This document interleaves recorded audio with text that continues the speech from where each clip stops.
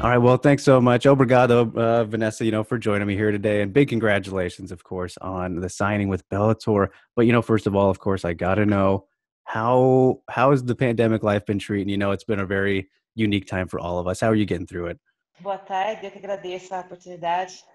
Yeah, she said that she'd also like to thank uh, thank you for being here. Um, she said that even though things have been pretty rough with the pandemic, she has her own gym, uh, so she really hasn't stopped training, and she's just now waiting for her next opportunity.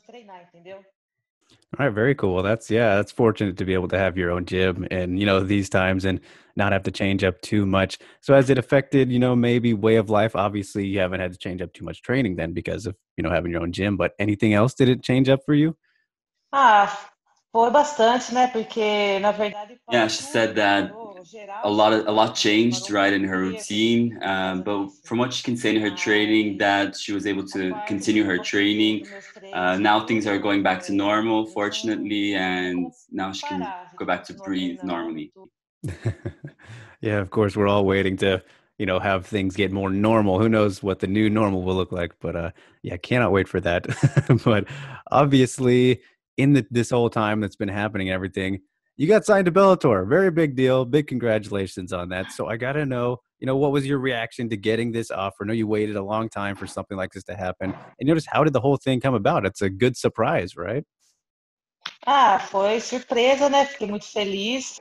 Yeah, she said that she was very surprised, very happy, and thankful to be being part of one of the biggest MMA events of the world. Um, and now she's just waiting to get her documentation, her passport straight to be able to do the flight in peace, in peace of mind.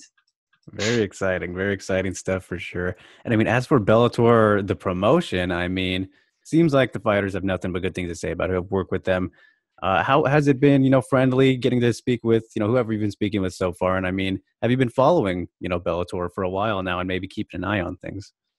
Na verdade, essa parte aí de conversar tudo foi o Juliano. She said that uh, who had this conversation was her manager, that the conversation was between her manager and the organization, but that he told her that it was a great conversation, that he was also very thankful for this opportunity, and now they're just waiting for the opportunity to present itself. E agora tem que esperar, esperar o pessoal chamar para poder fazer uma boa estreia.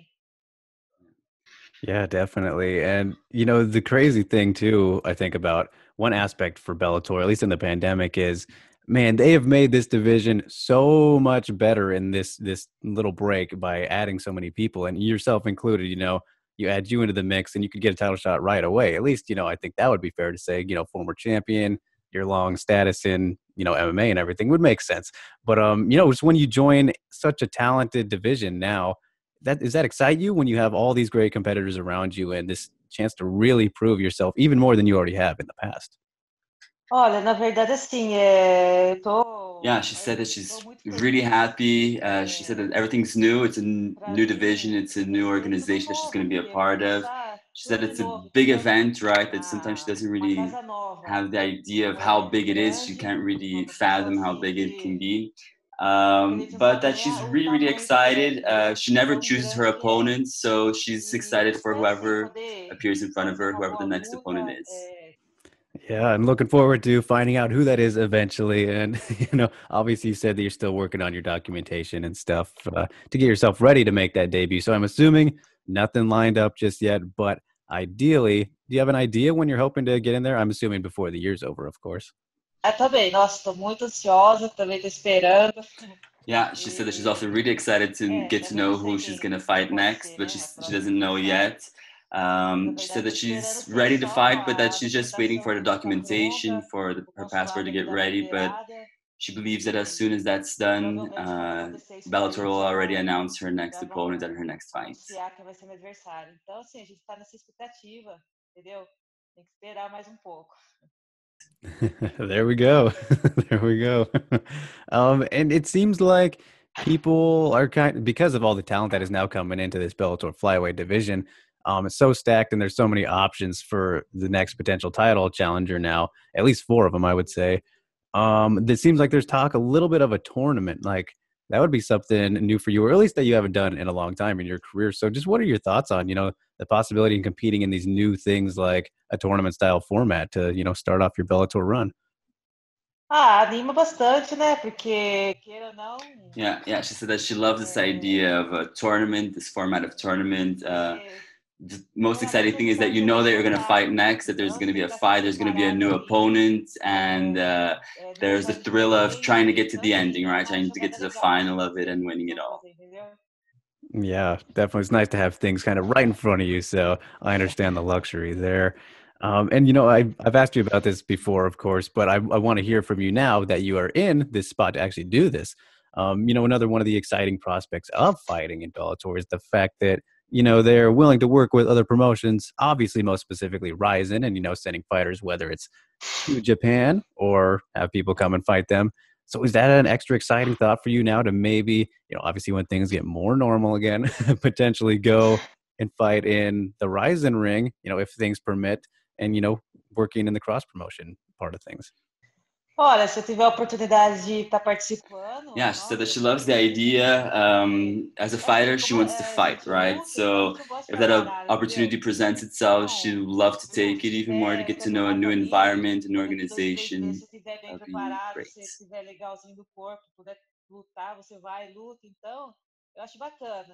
Yeah, and I mean, just to mention Rizin, have you? I'm assuming the answer is yes, but have you fought in a ring before? I mean, what's the idea of that element to you? Before, assuming you haven't, but I'm gonna guess that you have. do ringue, você fala assim, do de corda. Já, já, já. Na, nos primórdios, quando começaram. Yeah, she said in the beginning of women's MMA that that was how normally fights would happen. So in the beginning of her career, that's how most of her fights were. Yeah, okay. I, I, thought so. I just wanted to make sure there because you know you've had so much experience. You've really seen it all, done it all for the most part. So you know, that makes me think building up to this moment now, fighting on Bellator, having done all you've done, do you still get nervous for like moments like these and getting ready to fight on a stage like Bellator? Does that affect you and, you know, get you get you a little nervous still? Olha, na verdade não. eu fico yeah, yeah. Ella, she says that uh, no. Normally for the fight, she's pretty relaxed. She thinks good thoughts. She gets a little bit tense with the weight cuts. I think she said like as most fighters, she believes that that's normal. Uh, but for the fight, she just thinks good thoughts, good vibes, and she's ready. Very nice. And has it always been that way for you, or was there kind of a moment in your career where you're like, "All right, I'm used to this now"? no, sempre, sempre foi assim, sempre foi. Yeah. yeah. She says that actually no, that she always felt comfortable before a fight. The only thing was really the weight cut that gets to her, but with the fight, she's she's calm. All right, well that's good. I mean, you know, I know that a lot of people get very nervous or the emotions run a little bit wild in fighting, but it's very good to be able to contain that. So, I mean, is that would you say that you can attribute that to just how you've always been? I mean, did you play many sports growing up and maybe you just got used to that atmosphere of competing athletically that made it easier for you to be in front of crowds, whatever to take away the uh, you know, the nerves? Olha, eu acho que ah, veio da pessoa, né? Yeah, she said that she's naturally a very chill person, sometimes even a little bit too chill, um, and that she she really has a great routine. She wakes up, she eats well, sleeps well, and that really makes her comfortable for having a fight with uh, peace in mind. Yeah, awesome. Got to find whatever works for you, and sounds like you got a very good balance there. So that is awesome to hear. And, you know, of course, I want to talk a little bit about Invicta because obviously that was your home for a very long time in the fighting world. And, uh, you know, it's where you, I think most people will have known you from, but obviously your career stretches beyond that. But I'm curious, you know, you ended up being, becoming champion there and have had so many great moments. Is there something that sticks out maybe more than the others, whether it was in fighting with Invicta or outside of fighting? Something that is your most memorable moment from Invicta? Of course, you got the title, so I'm sure that's up there, but uh, something, something that you that sticks with you the most from your your time in Invicta? Ah, eu acho que na verdade assim. She's she said she's really really thankful for her participation and her time in Invicta. So that what stands out for her as something that really was memorable is her participation and the amount of opportunities that Invicta gave her. She said that she ended up having three title shots, and when the third title shot was offered to her, she could barely believe it. Um, but that besides that obviously there's the big amount of care that the organization has with its fighters that they take great care of them and that she's really happy really thankful not just her but her team uh, her coach uh, and nowadays when she looks back she's just very thankful and wants to rejoice in the memories yeah, of course. Plenty of great things to uh, remember. And I'm assuming did did Shannon give you a nice message too when uh, she heard the news or helped out with all that? Nossa, ela ficou feliz. She said that Shannon was very happy and that she congratulated her. She gave, she wished her good luck, and um, uh, Vanessa feels that she can only be thankful for Shannon for everything that she did for her as a fighter and this long time in Invicta. She she's thankful with all of her heart. Uh, yeah, Shannon's awesome. That's for sure. So, not surprised that everyone speaks so highly of her. So, just yeah, of course, was curious about that. Um, and you know, Vanessa, I think it is very, very, very fair to say that you know you've established yourself as one of you know the greatest flyweights of all time, and you know still got more work to do, which is crazy. Um, had a great career so far. I'm curious, you know, when you look at, if you look at the legacy part of things, you know, how important or like what do you think that you know a Bellator title would do, you know, for your career and your position as one of you know the all-time greats if you were to go and capture that? How, how impactful do you think that would be for the legacy that you've left behind to add on to it? Não, se caso você conseguisse, não, eu vou conseguir. she said that it's not a matter if she wins, but it's a matter of when she wins the belt. Um, and she said that as she knows it's not going to be um, it's not going to be easy. There's a long way there. It's going to be difficult. Uh, it's every fighter's dream to be able to one day to get the belt and that to be able to be the proof of their hard work um, but that she's gonna she's gonna do it she's gonna work hard to get it and she's excited for it yeah, of course, and hopefully we do get to see you know you fighting uh, the Ilima-Leis and all those uh, Liz Liz Carmouches, all the other you know fighters here very soon and whatnot. Um, and obviously those are some potential great opponents and everything. So I'm curious, is there somebody throughout your career, all the great opponents you've fought, all the great fights you've had, is there somebody who sticks out to you as kind of the toughest opponent that you've fought so far? Obviously, long list, and there's more to come. But as of right now, is there someone who like, man, that was a that was a really tough uh, tough girl? Olha, na verdade, sim, que eu posso dizer que uh, she said that uh, each fighter has a different style, right? It's not as much uh, one is better or worse than the other. It's more of how the style matchup is, right? So she said that every fight was really difficult in that sense. Um, when she looks back at the first fights of her career, she said that her fight with Cris Cyborg was very difficult in terms of testing her her endurance um, and it, she gained lots of attention with that fight. So maybe that was one that stands out for her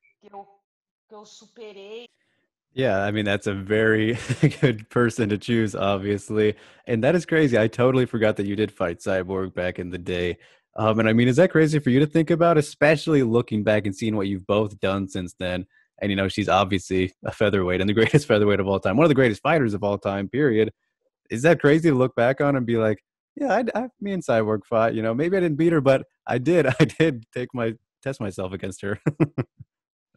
Ah, nunca pensei. Então, é, Yeah, she said it's very gratifying looking back and seeing how she fought Cyborg. Um, at that time, there weren't many fighters to fight, so that fight ended up happening. Um, and she said that it's impossible to expect what's going to happen from the future, right? But it's crazy to see how now they're in the same organization fighting in different weight classes. It's pretty cool. Yeah, no, that is definitely a very cool story. You know, starting working your way up in the Brazilian regional scene and then making it all the way here. She's a champion, of course, and you're looking to become champion. So, yeah, it is very cool how it's uh, kind of unfolded itself, right? Um, and I want to w- ask also about one, one more one more question about past opponents because you know I think you have very good experience to you know talk about it. But you know Jennifer Maia, of course, you know familiar with her. Um, just curious, what do you think her chances are against uh, Valentina Shevchenko? Because you know a lot of people right now think that Valentina is you know, borderline unbeatable. But just having fought Jennifer before, I'm curious how you think that she will do against somebody who people think is unbeatable, like Valentina coming up here. Olha, é, a, Valentina é uma nossa excelente atleta. That Valentina is an excellent athlete, right? She's lining up all her opponents in her division, um, but she believes that Jennifer has a chance of winning. It's a matter of what her game plan is um, and seeing how the fight ends up being. Yeah, looking forward to that one for sure. And I think that people are continually, you know, counting Jennifer out a little bit. Um, you know, she was the best in the world at one point too, so got to give her some love there. Uh, but as for you, Vanessa, you know, I'm, I'm curious about this, and of course, I'm not looking at the end of the road just yet. But you know, you've had a very long, great career, 15 year career. That's a long time. Kind of crazy to think about that too. Are you? Do you have kind of an idea of how much longer you're playing to fight for right now? I mean you know, obviously you're still looking as good as ever, just the champion in Invicta, but do you kind of see a point where you're like, all right, I've been fighting for a long time now, maybe should think about what to do next, but obviously not just yet, but if you're thinking about it at all. Olha, na verdade, assim, a gente pensa, já pensei bastante. Yeah, she said that she's already thought a lot about it, um, but she's still in great shape. She's still training well, working well. Um, so it's a matter of time, right? Time will tell. Her fights will tell if it's time for her to um, throw in her gloves. But maybe when she gets after gets after she gets her belt, she'll begin thinking about that.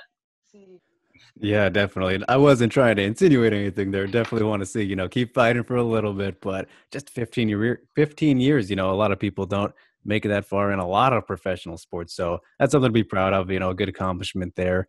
Um, and you know, just kind of looking back on it all, I'll leave you with this, Vanessa. One last thing. If you never got into fighting, I'm curious, what do you think that you would have ended up doing with these last 15 years? Maybe something that you love to do outside of fighting, like a hobby that you have right now. What is, what do you think that you would have gotten into if it wasn't fighting? Olha, vou falar pra você, sinceramente, eu não sei. Yeah, she said that she she really doesn't know what what what, what she would be if it weren't for fighting. Um, fighting appeared in her life by chance, but it's what she really dedicated her life to. But she's she thinks a little bit if maybe one day she stops fighting, dedicating her dedicating herself to running and a triathlon or things like that. Uh, continue to exercise herself. Yeah, of course. Always good to you know stay active in some way. So very cool, very cool. But uh, yeah, I think that uh that will be all that I have for you, Vanessa. Uh, this was awesome. You know, new, new, you were great to talk to before in the past and everything, but wanted to do it this way this time. Uh, so, you know, big congratulations once again. Thank you so much for, you know, taking the time here to chat with us. Uh, big obrigado, right? Um, and, you know, I wish you all the best of luck, you know, going forward with whatever it is. I think you're one of the most underrated, underappreciated, you know, fighters out there, period. You should have been signed to Bellator, the UFC a long time ago. So, very happy for you now that it is happening here. So uh, yeah, just big thank you again, and I uh, you know wish you the best of luck, like I said, and you know hope you have a great rest of your day too. Vamos lá, eu que agradeço mais uma vez. She's also very thankful, and uh, she said very soon you'll see Vanessa Porto in Bellator. oh, hey, you made it to the end. Thanks for watching. Really appreciate it. If you like this video and want to see more like it, give it a like and maybe subscribe if you haven't already. Until then, we'll see you next time.